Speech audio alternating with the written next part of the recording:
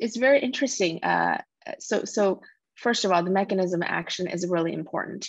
So when we're thinking about our JAK inhibitors, uh, the approved ones that we have, upadacitinib and abrocitinib, they both bind to the, um, the active domain.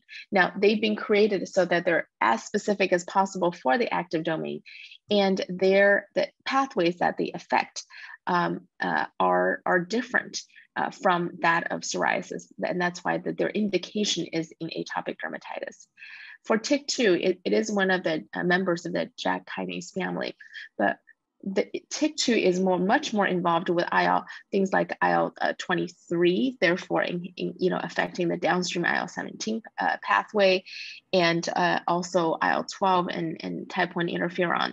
So, so when we're looking at the mechanism of action of TYK2 inhibition, even regardless of where the molecule binds, uh, we see a, a, bit differentiation between TYK2 and other types of JAKs with regards to uh, the uh, the kind of the body system that's involved. And the TYK2 inhibition uh, is unique with deucravacitinib that, that it binds to the regulatory domain, as I said earlier in the, in the uh, more earlier parts of our presentation. So even sort of put a more unique um, uh, look on it. And I think the FDA recognizes the difference, right? So no box warning with TYK2 inhibitor. So this is very important. And whereas for our AD population, even though upadacitinib and abrocitinib are studied in AD population, uh, gathering data that are different from the RA population, but we still see box warnings uh, applied there. So, so the FDA does recognize this key difference.